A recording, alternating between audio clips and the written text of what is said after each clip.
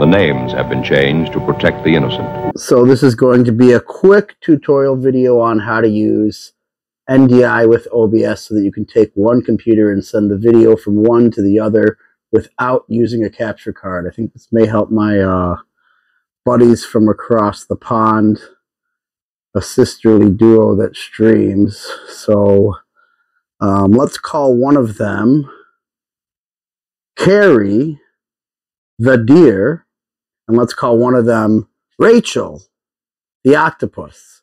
And so what we want to do is we want to get video from Carrie's PC into Rachel's PC. So it's really quick and easy. I've already got NDI 5 installed. Um, I did just realize when I was going to go and make this tutorial that they have an NDI 6 that was released with a new plugin, and then they just changed the name of this uh, OBS plugin from OBS NDI to uh, Distro AV. So I'm going to real quickly show you how this should work using NDI 5 and OBS NDI. But then we're going to uninstall it and we're going to install NDI 6 and we're going to then show you how to use NDI 6 because I believe that that should be working now and that's going to be the latest update to use. So real quick, what we want to do is here is we want to get this OBS screen into that OBS somehow.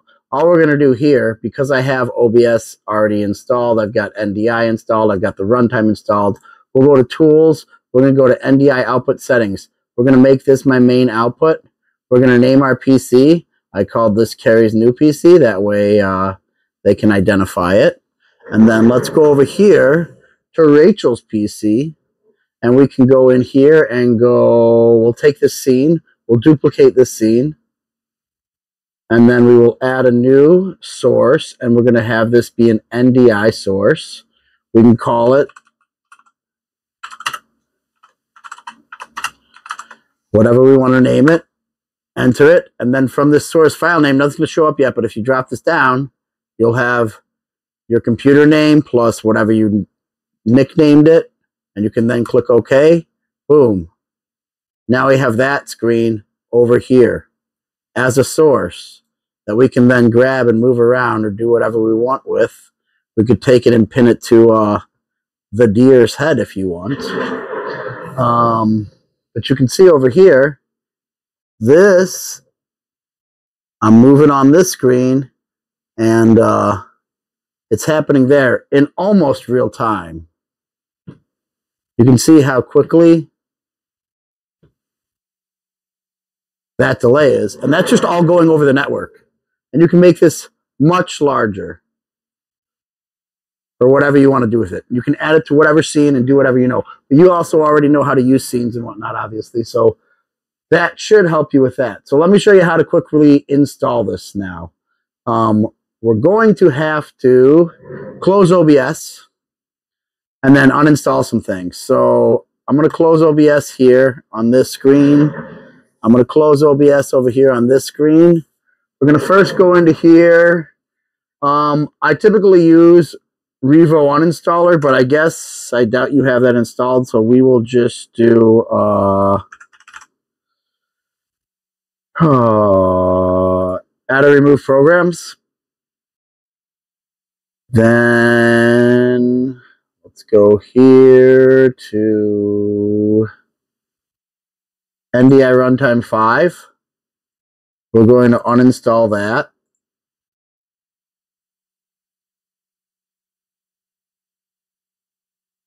Cool, that's uninstalled. Now let's see if OBS NDI version right here, we're going to uninstall that. So worst case scenario, if NDI 6 doesn't work, I have all these files for NDI 5. I use it pretty much on every single PC that I have. Um, so if you need me to uh, put NDI 5 on your computer, we can do that.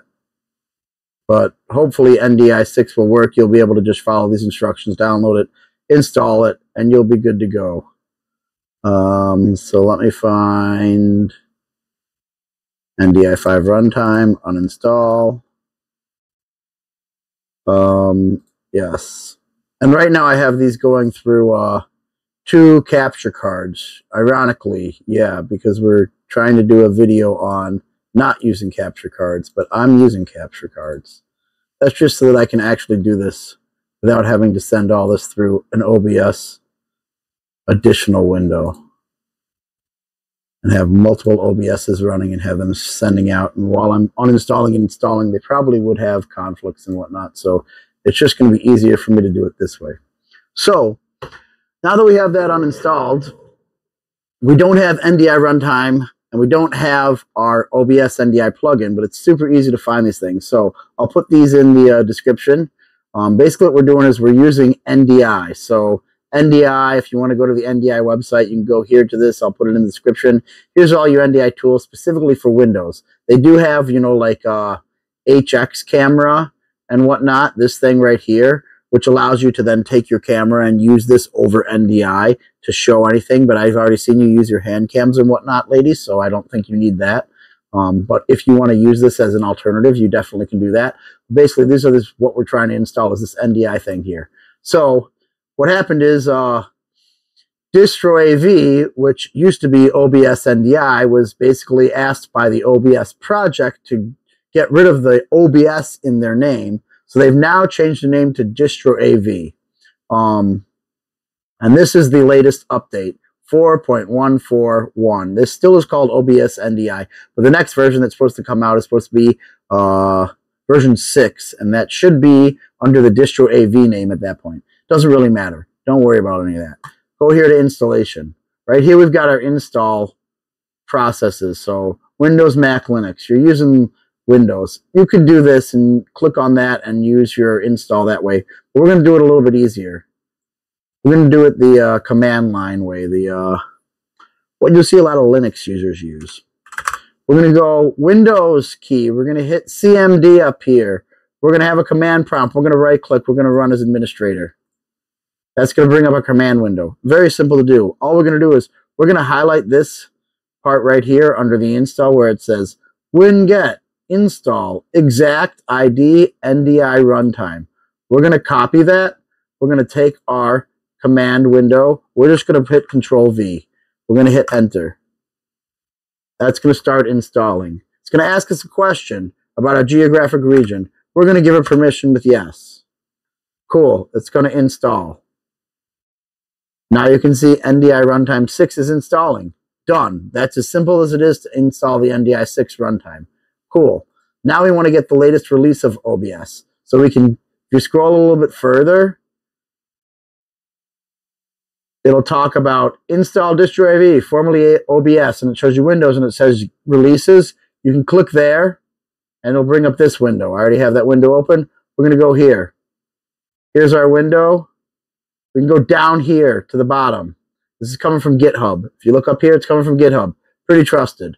If you want to, you can install a zip, right? You want the Windows file. If you want to look up the source, you can definitely look up the source file. But here's your Windows files. If you need to install a zip, you can download it as a zip and then install it.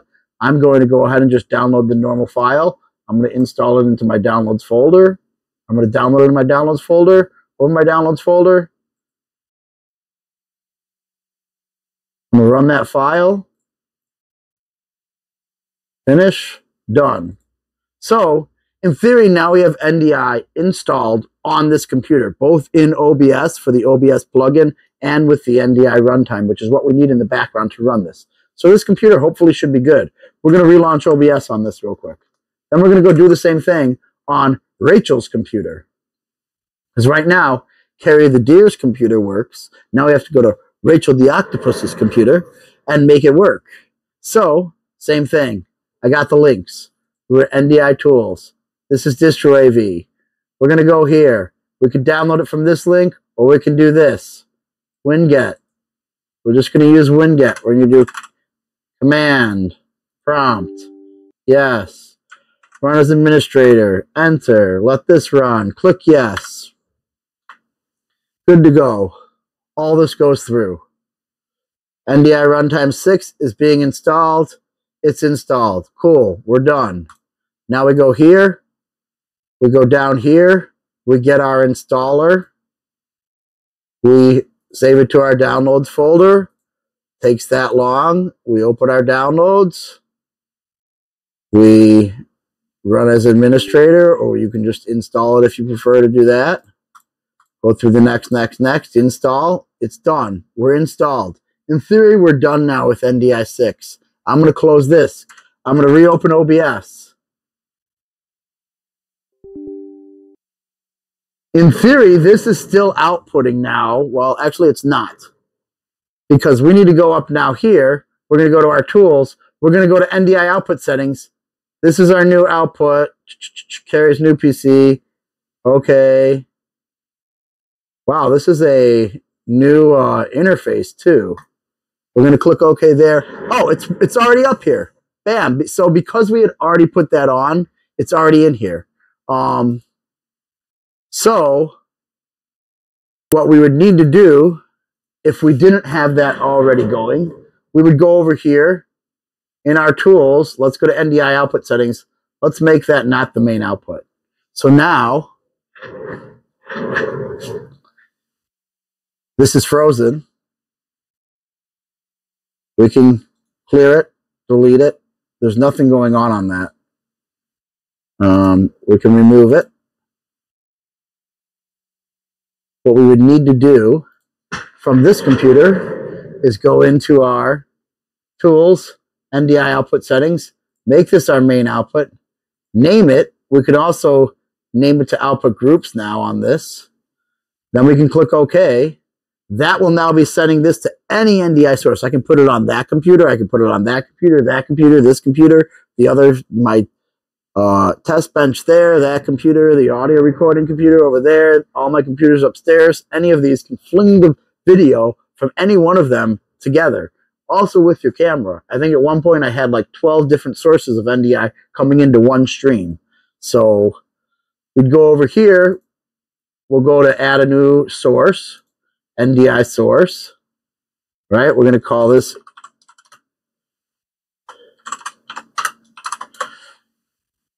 Carrie's new PC. There it is. Bam, boom, done. Look at that. Now, working. In fact,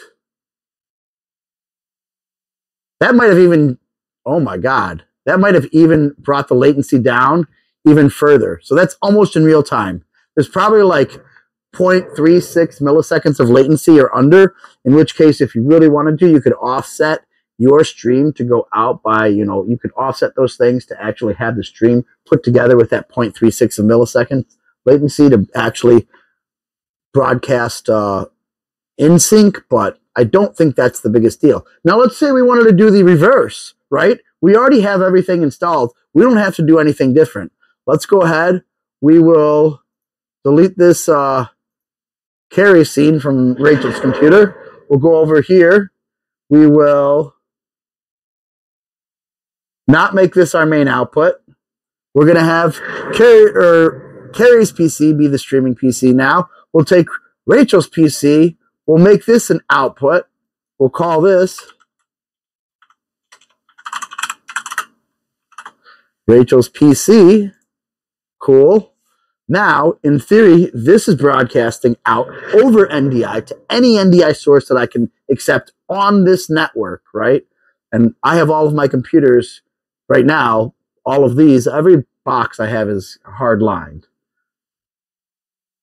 Um, and then we can do here, we'll do a new NDI source. We will call this Rachel's PC. Cool. And then we will look here. Boom. Rachel's PC is that one. Boom. I was like, what happened? Oh, it took a second. But it got there. And there's Rachel's PC now, coming from that PC into this PC. So this is still live, and this is still live. And you can see in almost real time, that PC is streaming over here. So in theory, we could take our little VTuber characters and we could either pin this as a node. You might be able to use a motion plugin or depending on how you render it, whether you render it through this, this and pin it here and then send it, or just have her stream going so that when one of them dies, the other one then can be shown. And let's say, hey, I want to have uh, another PC put into this. If I want to add another PC, watch, I can add this PC over here. Hold on one second. Let's do this. Let's go over to that PC and add this one in. So, I have to remove some things real quick first because I have NDI installed on this already. In fact, let me see what happens if I run OBS NDI on this thing and try to broadcast it. With uh, runtime 5 without and try to broadcast that to something else.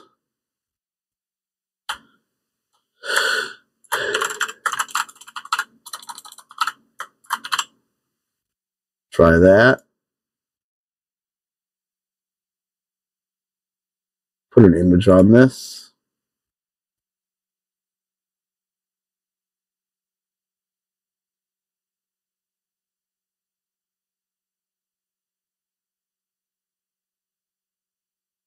Damn, I got no pictures on this thing? No wonder. Let's do this. The text window on this.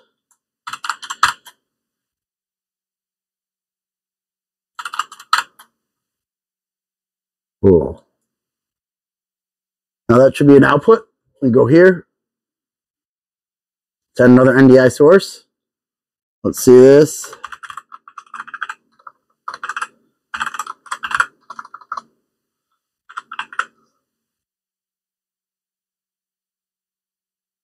Boom. It's there. It's already there. So NDI 5 and NDI 6 can both be running together. That's awesome.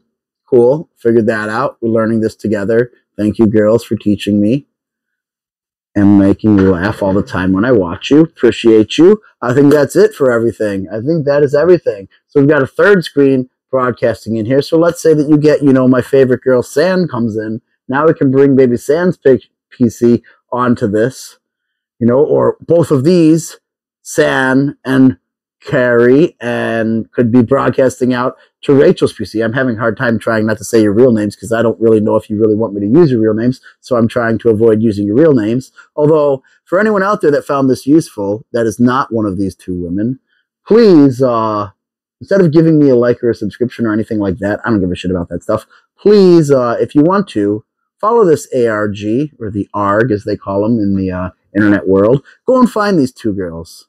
This augmented reality game of you trying to chase down who are these two women that I'm talking about. One is a deer, one is an octopus. One's name is Carrie USA. I'm a deer. And then Rachel, Rachel Robert over here, the octopus. See if you can find them, that sisterly duo that streams together. I think that's it for the video, though. Thank you, good night, and goodbye. Thank you, thank you. I don't know what they say, thank you.